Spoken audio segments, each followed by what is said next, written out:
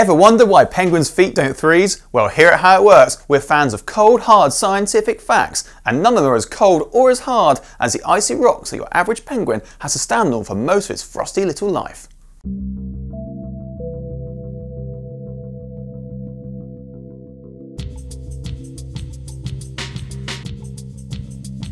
Penguins like to live down south in the southern hemisphere, but particularly in Antarctica, the frozen continent at the bottom of the Earth, where temperatures can often drop to 63 degrees centigrade below zero.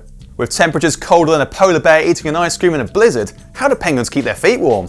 Nope, sorry, socks are out, as penguins use their bare feet to walk without slipping and to help steer them when swimming. Plus, they struggle to put them on as, well, you know, penguins don't have hands.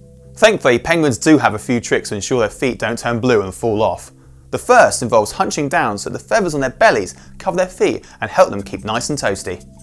The second involves rocking backwards onto their heels to give their feet a break from touching the freezing ice. However, the final trick they have up their sleeves, or in their feathers, is really clever. Penguins can adjust the flow of warm blood from their hearts into their feet.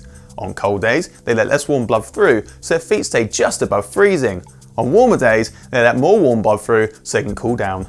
You see, the arteries that flow from the heart to the feet are very close to the ones that flow from the feet back to the heart, so heat is easy transfer from one to the other, keeping the penguin's feet just above freezing. It's called countercurrent heat exchange and believe it or not, humans can do this too. That's why your hands turn whiter on a cold day as your body sends them less warm blood, so the rest of you is kept warmer.